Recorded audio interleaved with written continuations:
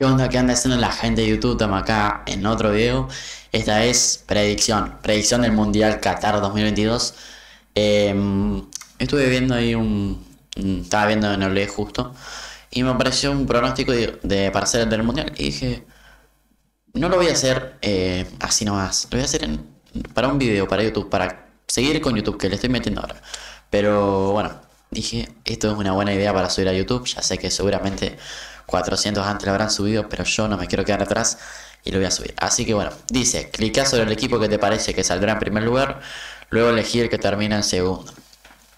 Así que bueno, tenemos todos los grupos con todos los equipos, así que eh, básicamente tenemos que ir haciendo clic sobre el que va a salir primero y segundo y ya está.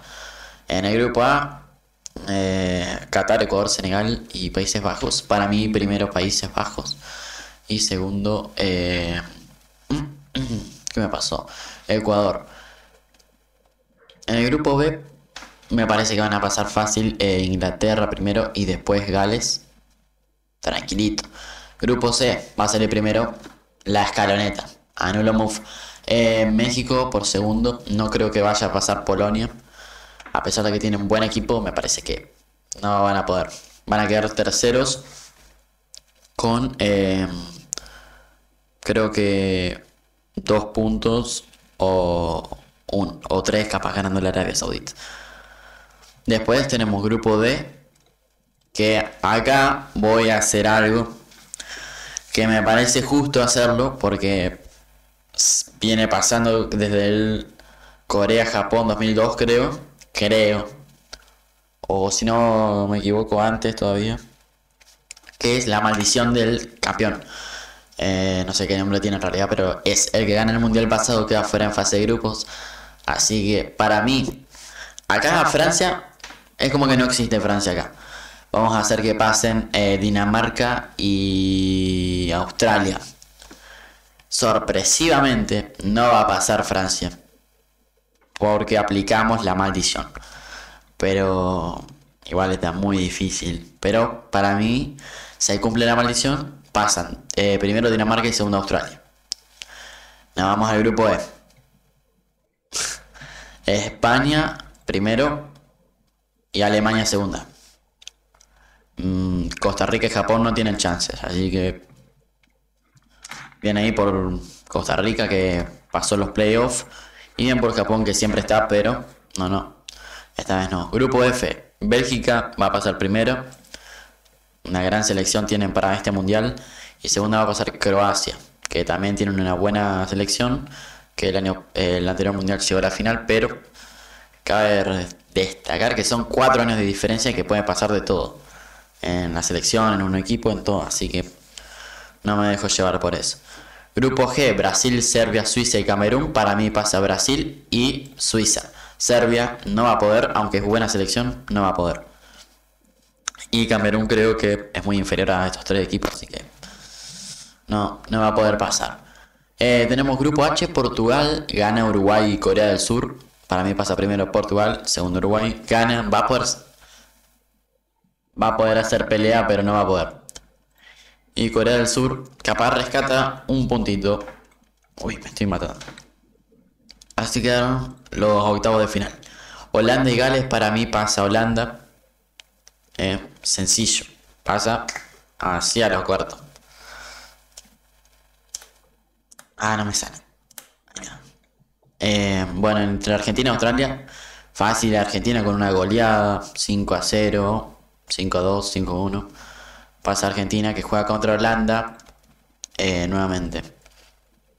España y Croacia va a ser un partidazo, un partido aparte. Que a pesar de todo lo va a pasar España, capaz en la prórroga. ¿eh? Ahí en el 112 un golcito ahí. De zurda al ángulo. Eh, bueno, Brasil, Uruguay, otro partido aparte, pero no tan aparte. Porque no es la gran. Pero va a pasar Brasil, creo. Para el segundo tiempo ya lo va a tener más o menos ahí. Uruguay va a ir con todo, pero Brasil es Brasil. Y Ecuador, Inglaterra. Inglaterra pasa fácil. Y México, Dinamarca. Cae México y pasa Dinamarca con un gol de penal. Le hacía alta predicción. Eh, pero ¿qué hago de hacerlo así igual? Eh, tenemos Alemania y Bélgica, que este sí es otro partido aparte. Sí que sí. Otro partido aparte, Alemania-Bélgica. Para mí, para mí, eh, pasa Bélgica. Tiene una selección muy buena y creo que muy superior a la que es Alemania. Que a pesar de que tiene buenos jugadores, queda fuera en octavos contra Bélgica. Y entre Suiza y Portugal, va a pasar Portugal. Y muy de pedo igual, pero va a pasar Portugal. Para las semis, volvemos a este lado. Tenemos a Holanda y Argentina. Partidazo en donde se van a llover centro, eh, patean a largo como nunca. y va a pasar Argentina. Con un poco de suerte, pero va a pasar. España y Croacia, eh, perdón, España y Brasil. Partidazo por donde lo mires. Es un partidazo. Va a pasar, va a pasar, va a pasar, va a pasar España. A pesar de que Brasil va a ser un buen partido, va a querer jugar la semi contra Argentina. Va a pasar España, que lo tiene demasiado claro. Y acá... Uy, no. Qué difícil es. Bueno, tenemos Inglaterra y Dinamarca. Va a pasar Inglaterra con lo justo, pero va a pasar. Y de este lado va a pasar Bélgica. Claro, Bélgica. Un 3-0 por ahí. Y Cristiano va a tomar la decisión de retirarse de la selección por haber llegado hasta ahí. Él hacía una trama. Le hacía alta historia. No, igual, eh, fuera de juego, creo que el pronóstico hasta ahora va recopado. Se vienen las semifinales, se vienen los cuatro últimos. Pero creo que es demasiado bien, porque la maldición se cumple acá. Francia quedando afuera en fase de grupos. Y después todo lo otro está bien. Yo creo que así lo vería. Entre México y Dinamarca, México no va a poder a pesar de todo. Pero vamos con las semifinales. Inglaterra-Bélgica. Partidazo también. las dos semis son un partidazo. Pero...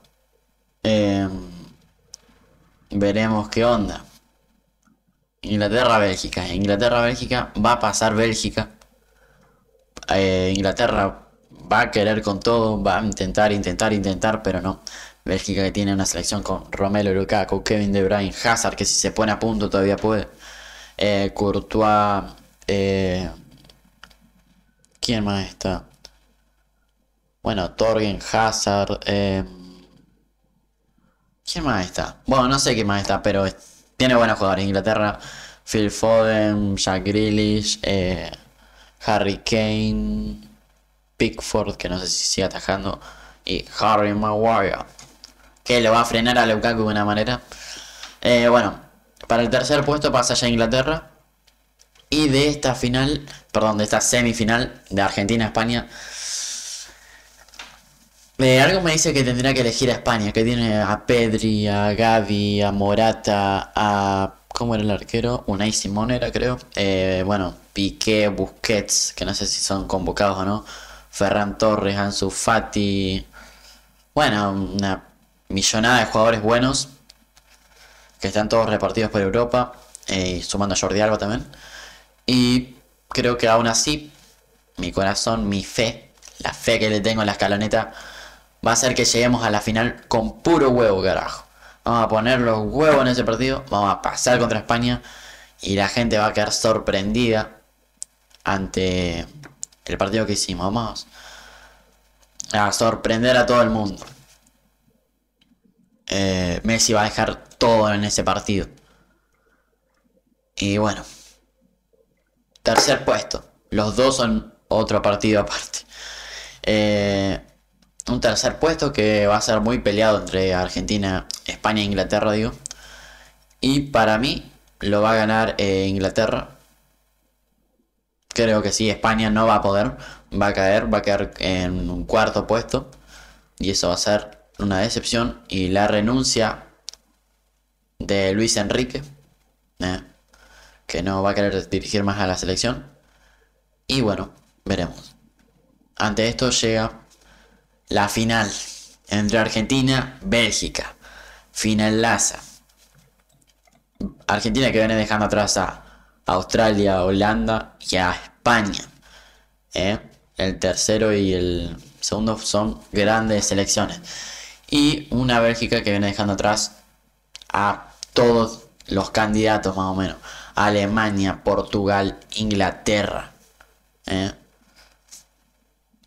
Creo que va a pasar eso. Acá, eh, en la final, me quiero decantar por Bélgica, porque me parece que tiene una selección mayor a la nuestra. Pero, como voy a ser eh, justo, Bélgica no viene ganando nada en estos últimos años. Y en cambio eh, Argentina sí. Bueno, ganó la Copa América el año pasado. Ha llegado a finales de Copa América. Eh, semifinales también. Que fue un robo total, pero llegó. Y mm, si bien en el Mundial pasado fue una decepción, una gran decepción, eh, creo que este Mundial se lo va a llevar a Argentina. Ya pueden quedarse tranquilos los que esperaban ahí. Pero se lo va a llevar con una final muy complicada que se va a la largue. No a los penales, pero se va a la largue. Y. Mm, uy, chico pollo. Y. Bueno, poniendo los huevos, como en el partido pasado, Messi que la va a romper totalmente. Lautaro Martínez imparable, el Diego Martínez volando. O también ir repartiendo pataditas ahí a Lukaku. ¿Eh? Me parece Paredes frenando a Kevin De Bruyne. Esta final se la va a llevar Argentina, loco. Y bueno, Argentina va a ser el verdadero campeón. La verdadera campeona. Dejando atrás a unos equipos que capaz no tan fuertes que como Bélgica, pero eh, que va a llegar a la final y la va a ganar con puro huevo. Y Argentina va a el campeón. Messi levantando la copa en su último mundial. Todo para su casa. Argentina campeón. Volvemos a Argentina. Y competimos ya para lo que se viene. Sería finalmente así. Lo vamos a guardar. Y básicamente es Argentina campeona del Mundial Qatar 2022. juega muy buena predicción. Francia ahí eliminada con todo. Así que bueno, vamos la escaloneta carajo. Vámonos más.